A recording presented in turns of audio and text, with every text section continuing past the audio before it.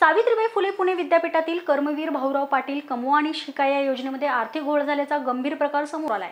योजनेचा आर्थिक फायदा बोगस विद्यार्थ्यांना होत असल्याची शंका व्यक्त करण्यात आली आहे. विद्यापीठातील विद्यार्थी कल्याण मंडळातर्फे गरजू विद्यार्थ्यांसाठी कमवा आणि शिका ही योजना अनेक वर्षांपासून राबवली जाते. विद्यापीठाच्या आवारातील विविध विभागांमध्ये प्रामुख्याने ग्रामीण भागातील विद्यार्थ्यांची संख्या ही मोठी आहे.